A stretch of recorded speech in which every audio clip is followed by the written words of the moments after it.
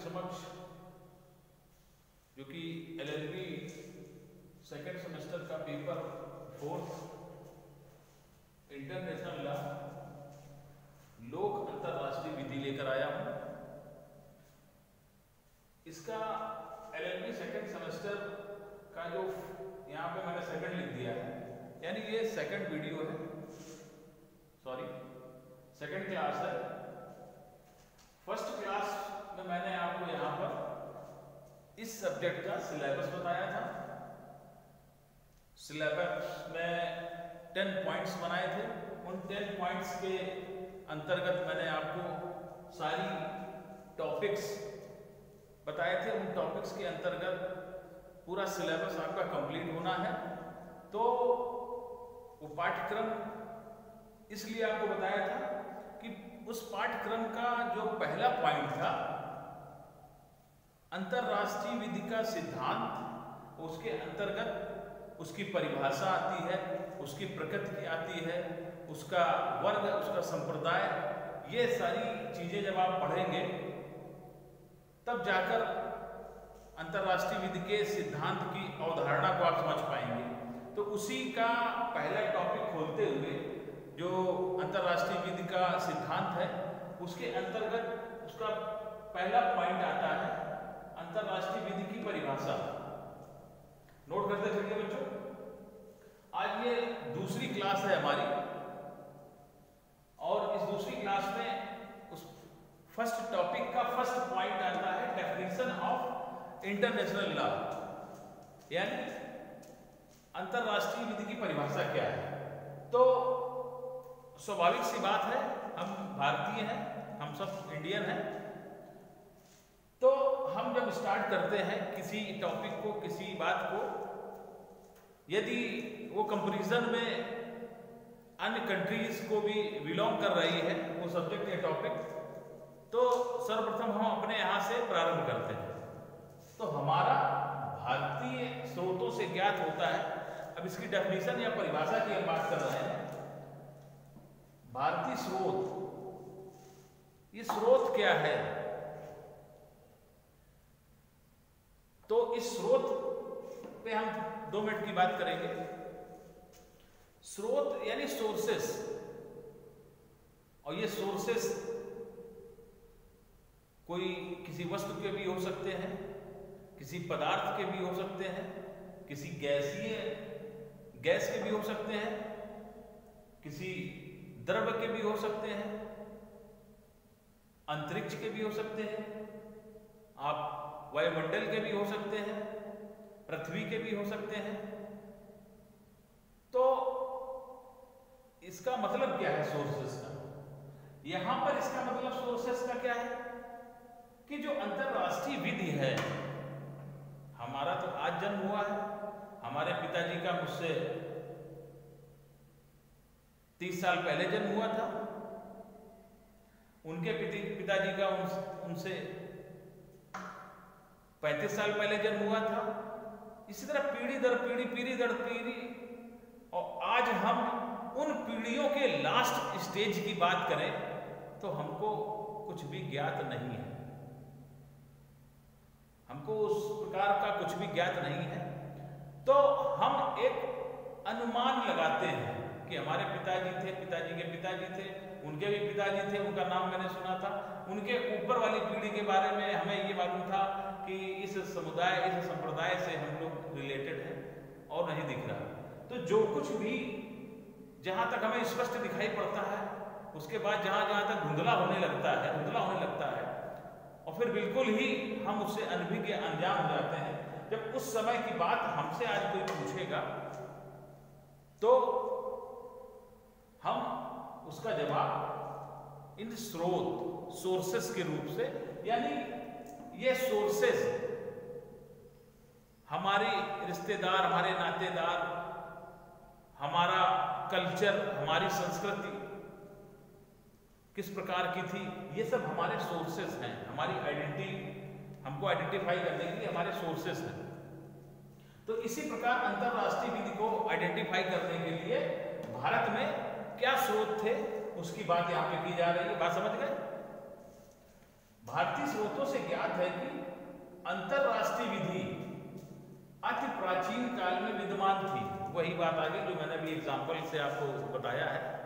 यानी भारतीय जो सोर्सेस जो स्रोत रहे हैं, उनसे यह तो ज्ञात है कि अंतरराष्ट्रीय विधि अति प्राचीन, बहुत ही पूर्व काल की बात करें, पुरानी काल में विद्यमान थी, परंतु यह स्वीकार करना पड़ेगा कि आधुनिक अंतरराष्ट्रीय विधि यूरोपीय प्रणाली की देन है। अब यहाँ पर थोड़ा रुक जाइए, कुछ बात करनी है। तो बच्चों, भारतीय स्रोत सोर्सेस से हमको ये तो पता चल गया कि ही यहाँ पर भी एक अंतरराष्ट्रीय विधि के कुछ प्रमाण, कुछ बातें, कुछ सोर्सेस पाए गए हैं, जिससे ये तो कहा जा सकता है कि प्राचीन काल में ऐसी कोई ना कोई विधि विद्यमान रही होगी। क्लियर तो ये एक संदेह और एक कंफर्म नहीं है, इसके आगे हम बढ़ते हैं। परंतु यह आपको स्वीकार करना ही पड़ेगा। यानी ये जो बात है, ये क्लियर है। स्वीकार करना पड़ेगा कि आधुनिक अंतरराष्ट्रीय विधि यूरोपीय प्रणाली की देन है। यानी कहीं ना कहीं जो इंटरनेशनल लॉ है, अंतरराष्ट्रीय विधि है, इसका यह प्रमाण है कि यह एक यूरोपीय कंट्री के जो भी देशेस हैं, उसमें वहाँ की देन है ये विधि। और जिस रूप में उसे स्वीकार किया जा सकता है, या किया गया है, या किया जा चुका है, उसका श्रेय यूरोपीय देशों को ही है। तो ध्यान देना बच्चों, इसको नोट भी करते चले आप लोग। तो कहने का मतलब यह है कि इस बात से इनकार नहीं किया जा सकता है कि जो भी इंटरनेशनल लॉ है, अंतरराष्ट्रीय विधि है, भारत में कुछ इस प्रकार के सोर्सेस इस प्रकार की हमको साक्ष्य,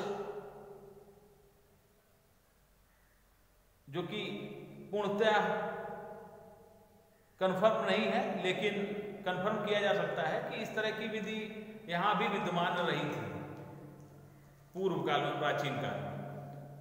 अब बात इस पर ही समाप्त नहीं हो जाती है। बात आगे बढ़ती है कि सत्यता पर हर बात की सत्यता ही उसका अंत है। जब तक झूठ कहेंगे, उस बात का अंत कभी नहीं हो सकता है। तो सत्यता क्या है? सत्यता यही दर्शन करती है, परंतु यह स्वीकार करना पड़ेगा कि आधुनिक अंतरराष्ट्रीय, जो आज की आधुनिक नवीन, जो आज की अंतरराष्ट्रीय विधि है, वह यूरोपीय प्रणाली की देन है और जिस रूप में उसे स्वीकार किया जा सकता है, उसका श्रेय यूरोपीय देशों को ही जाता है। दैट्स क्लियर यानी हमने मान ली, सबने मान ली कि इसका उदय यूरोपीय देशों से ही हुआ है। ठीक है? अब आगे आते हैं। ये हमारे विधि शास्त्री हैं। जैसे आपके मैथ्स, फिजिक्स, केमिस्ट्री, अन्य सब्जेक्ट में विद्वान, वैज्ञानिक होते हैं। इस प्रकार से जो हमारी विधि है, विधियों के यह विधि शास्त्री कहे जाते हैं। ओपेनहाइम वाइलीफ फैनविक, एडवर्ड कॉलिंस बेंथम, बहुत सारे इस प्रकार के लोग हैं, जो कि शुरुआत से ही इन विधियों को परिभाषित करते हुए, आलोचना करते हुए आलोचना क्या होती है? आलोचना होती है, यदि मैं किसी बात को आपसे कह रहा हूँ डिबेट जैसे आप डिबेट देखते हैं, सामान्य तौर पर न्यूज़ में भी देखा करते हैं, कोई कोई बात कह रहा है, दूसरा उसकी बात का खंडन कर रहा है, फिर वो उस बात को सही रूप में प्रस्तुत कर रहे हैं, फिर खंडन किया जा रहा है, यानी कई चरणों में उस बात का जो फाइनली रूप आता है जिस पर कोई डिस्प्यूट कोई विवाद नहीं होता। है वह अपने आप में एक विधि का रूप ले लेती है, एक नियम और एक सोच, एक डेवलपमेंट अब इनकी सोच क्या थी? अंतरराष्ट्रीय विधि के विषय में क्या अवधारणा थी? क्या बात बताई इन्होंने अंतरराष्ट्रीय विधि के विषय में? राष्ट्र की विधि अथवा अंतरराष्ट्रीय विधि, राष्ट्र की यानी हमारे लोकल इंडियन लॉज की बात कर रहे हैं। अथवा इंटरनेशनल लॉ उन रूढ़िगत परंपरागत जन नियमों के समूह को कहते हैं, जिन्हें सभ्य राज अपने पारस्परिक संबंधों में बंधनकारी मानते हैं। बात दो लाइन की है, लेकिन इस दो लाइन में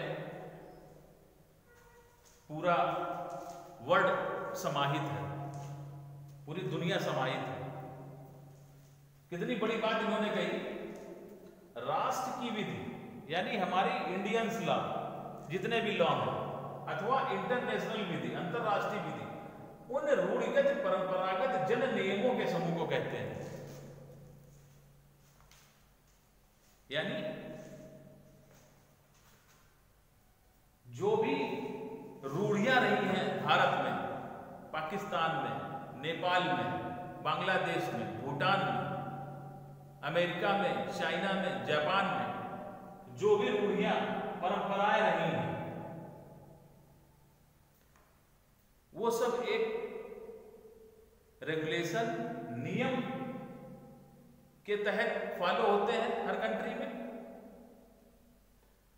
तो उन जो भी रूढ़ियाँ और जो भी परंपराएँ रही हैं, इनका एक समूह, एक ग्रुप के रूप में, वर्ग के रूप में विस्तारित होना,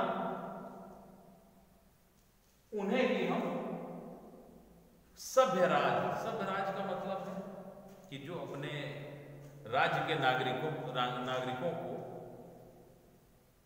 अच्छे अन्य देशों के साथ मधुर संबंध प्रदान करें। जब हमारे राज्य के संबंध अन्य राज्यों से मधुर होंगे तो वहाँ के नागरिकों के भी आपसी संबंध मधुर होंगे, जिससे कि एक दूसरे का साथ होगा, एक दूसरे का विकास होगा। तो जिन्हें सभ्य राज्य अपने पारस्परिक संबंधों में बंधनकारी मानते हैं। क्लियर यानी, अब हम मान लेते हैं भारत, अमेरिका, चाइना और जापान। ये चार देश हैं। चार देशों की एक नीति है कि अंतरराष्ट्रीय स्तर पर जो भी स्वस्थ स्वस्थ और स्वच्छ वातावरण एवं जल संचयन एवं समाज में स्वच्छता अपराध मुक्त समाज। इस तरह की परंपराएँ, जो नीतियाँ हम चार देश एक दूसरे के मिलकर निपटाएँगे, एक दूसरे की हर तरीके से संभव मदद करेंगे, इन सब प्रयासों को आगे बढ़ाने में। और अपने आप को इन उद्देश्यों की पूर्ति के लिए आपस में बांधे रखते हैं।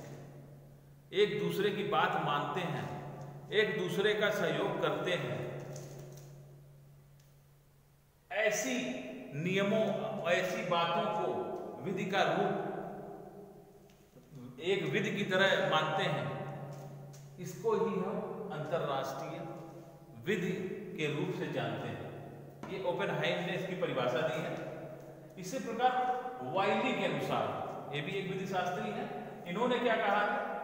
राष्ट्र की विधि अथवा अंतरराष्ट्रीय विधि, उन नियमों तथा सिद्धांतों का समूह है, जो राष्ट्रों के पारस्परिक संबंधों पर बंधनकारी होते हैं। यानी, सभी ने वही बात कही हमने दो इंपॉर्टेंट विधि शास्त्रियों को यहाँ पर लिख दिया है। ऐसे अन्य और भी हैं हमारे विधि शास्त्री जो कि आप इसका मोटिव इसका उद्देश्य समझ लीजिए। सभी का उद्देश्य यही है, सभी की परिभाषा का उद्देश्य ही यही है कि ऐसे राष्ट्र की विधि, अंतरराष्ट्रीय विधि सभ्य राज्य अपने पारस्परिक संबंधों में बंधनकारी मानते हैं। राष्ट्र की विधि अथवा अंतरराष्ट्रीय विधि पूरे नियमों सिद्धांतों का समूह है, जैसे ये था, जो राष्ट्रों के पारस्परिक संबंधों पर बंधनकारी होते हैं। घुमा फिरा के, घुमा फिरा के यानी A for April April mean सेब होता है। टू वन जा टू टू टू जा फोर होता है। ये तो सभी जानते हैं। लेकिन उसको एक्सप्लेन करने वाला, बताने वाला किस प्रकार से ए फॉर एप्रिल को सेब कहता है? कोई किसी प्रकार से कहता है, कोई किसी प्रकार से कहता है। कोई इंग्लिश में कहता है, कोई हिंदी में कहता है। कोई घुमा के डायरेक्ट कह देता है, कोई घुमा के कहता है। इसी प्रकार से हमारे जितने भी विधि शास्त्रियों विधि शास्त्री हैं, उन्होंने अपना अपना मत रखते हुए परिभाषित कर दिया। तो बच्चों आज आपको अंतरराष्ट्रीय विधि की परिभाषा समझ में आ गई होगी। और अभी तो ये सेकंड क्लास थी आप, आपकी। और जब तक ये सिलेबस चलेगा अंतरराष्ट्रीय विधि की परिभाषा प्रत्येक चरणों में किसी न किसी रूप में आपको समझनी है, देखनी है, सुननी है। वो तो आपके माइंड में बिल्कुल छप जाएगी। तो हमारा उद्देश्य क्या था समझने का? हमारा उद्देश्य यही था मात्र कि अब जैसे ये है ए, ये है बी ये है सी ये है डी ये इसको हम मान लेते हैं इंडिया इंडिया इसको मान लेते हैं पाकिस्तान इसको मान लेते हैं चाइना। चाइना। इसको मान लेते हैं अमेरिका। अमेरिका क्लियर अब इन्होंने कहा यार भारत ने कि हम चार देश अगर एकजुट हो जाए तो अपने देश में पानी की बिजली की और भी खाद्यान्न की खाने पीने की आर्थिक रूप से हम अपने आप को बहुत अच्छे से मज़बूत कर सकते हैं उसके लिए हमको साथ में आके खड़ा होना पड़ेगा। हमारे यहाँ क्या सोर्सेस हैं? बढ़ने के? हमारे यहाँ क्या सोर्सेज है बढ़ने के? इनके यहाँ क्या सोर्सेज नहीं है, क्या नहीं है? आप इनका इसमें सहयोग करें। और इनके पास जो है, वो हमारे पास नहीं है। उसमें ये इनका सहयोग करें। इस तरह से हम लोग एक समूह, ग्रुप के रूप में, वर्ग के रूप में बंध जाते हैं, बंधनकारी हो जाते हैं एक दूसरे के लिए। और यहाँ भारत क्या है? पाकिस्तान क्या है? चाइना क्या है? यदि इंसान, यदि जीवन ना हो तो इसका कोई अस्तित्व है, इसका कोई अस्तित्व, इसका कोई अस्तित्व, इसका कोई अस्तित्व है। नहीं है ना? लेकिन यहाँ पर भी इंसान है। जीवन की बात हो रही है। जीवन जहाँ जहाँ भी है। इंसान इंसान इंसान, ये सब जगह इंसान। इंसान को क्या चाहिए? सिंपल सी बात है, रोटी, कपड़ा और मकान। ठीक है? रोटी, कपड़ा, मकान चोरी से, डकैती से भी लिया जा सकता है। लेकिन इनको सबको संभालने का, देखने का काम सरकारों का है। कि सही रूप से सही कार्य करके व्यक्ति जीवन अपना चलाए। किसी के संग अहित ना करे, किसी अहित होने ना दे। ये सब चीज़ों में अपने आप को बाँध के रखते हैं, बाँध के रखना है। सबका उद्देश्य यही होता है। और यदि हमारी सीमा से संबंधित कोई बात आती है, भारत की, पाकिस्तान की, चाइना की तो हम चार लोग बैठ के आपस में सब लोग निपटारा करेंगे, जो चारों लोगों को मानने के लिए बाध्य हैं। चारों लोग आपस को एक दूसरे के लिए बाध्य होंगे मानने के लिए। तो बच्चों, आज हमारा सेकेंड क्लास जो आपके समक्ष definition of public international law L L second semester के बच्चों का, ये पहला टॉपिक का एक पहला पॉइंट छोटा पॉइंट मैंने बताने, समझाने का प्रयास किया है। नोट्स कर लीजिएगा। और नेक्स्ट क्लास में पुनः मिलते हैं एक नए पॉइंट के साथ। Okay thank you